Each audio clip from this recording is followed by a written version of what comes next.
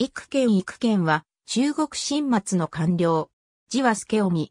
内務府満州世紀旗、イェヘアンジャ氏。高所15年、山東省総州府の地府となり、3ヶ月で盗賊1500人を殺したことで名を知られるようになった。高所22年、山東府政使に昇進。高所25年に山東準部に就任した。当時の山東省では、排外感情が増し、高所23年に大東会がドイツ人のキリスト教宣教師2名を殺害するという総宗教案が発生して準備理兵校が解任された。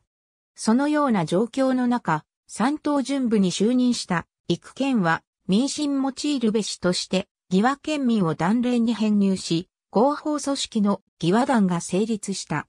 また義和団に育児の旗を与え、義和団が教会を焼き討ちしキリスト教徒を殺害するのを放置し、キリスト教徒が保護を求めても無視をした。そのため外国の圧力で政府から解任され、遠征外と交代した。しかし解任後も、北京で、単軍王、蔡位、昇進の蔡君、大学志号機らに、義和団を利用するように進め、生体校にも越見した。高所26年になると、三世準部に復帰。三世準部在任中に、育県の排外主義は、さらに苛烈さを増し、義和団を思想して、教会を焼かせ、宣教師を殺害させた。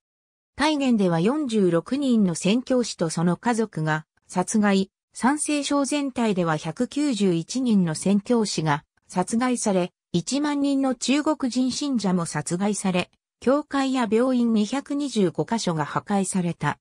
三世省では他の省と比べて最も多く外国人が殺害されたのである。